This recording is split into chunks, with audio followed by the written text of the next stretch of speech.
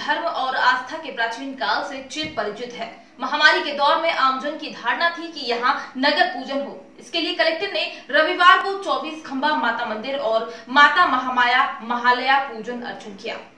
उज्जैन में परंपरा रही है कि नवरात्रि पर्व के दौरान अष्टमी महापर्व पर शहर और देश की सुख, शांति और उन्नति के लिए नगर पूजा का आयोजन किया जाता है। इस बार चैत्र नवरात्रि के दौरान वैश्विक महामारी कोरोना के चलते लॉकडाउन और कर्फ्यू लागू किया गया, जिसके चलते नगर पूजा की परंपरा नहीं हो पाई। उसके बाद से लगातार धार्मिक नगरी कोरोना संक्रमण के प्रकोप से घिरती नज़र आने लगी। पिछले कई दिनों से धार्मिक संगठन और शहर की धार्मिक परंपरा में शामिल होने वाले संगठनों द्वारा लगातार कलेक्टर से मांग की जाने लगी कि कोरोना प्रकोप से बचने के लिए नगर पूजा का आयोजन किया जाए, लेकिन अब तक नगर पूजा की अनुमति नहीं मिल पाई है।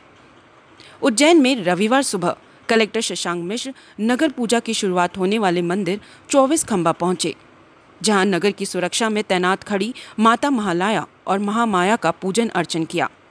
कलेक्टर ने नगर पूजन के बारे में भी विचार विमर्श के बाद कराने के संकेत दिए हैं। पिछले कई सालों से चली आ रही हरिहर मिलन की परंपरा को भी प्रशासन ने पूरा कराया था और लोगों ने अपना पूरा सहयोग हरिहर मिलन में दिया था। ये किसी समय तो कहा जाता था कि उज्जैन भगवान महाकाल मंदिर का प्रवेश द्वार था। ये।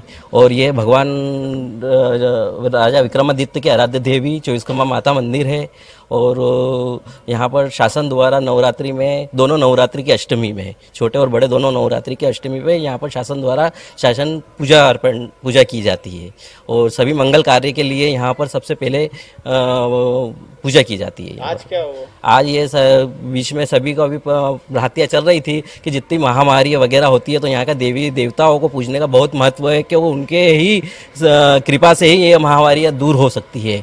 तो आज कलेक्टर साहब यहाँ आए हैं और उन्होंने अपने शासन की ओर से अपने मनोकामना पूरी हो और कोरोना से मुक्ति मिले, ऐसी भगवान माते श्री से विनती की है कि जल्दी से जल्दी इस कोरोना से मुक्ति हो और बाबा महाकाल की कृपा से ये सभी कोरोना मुक्त उज्जैन होवे और पूरा भारत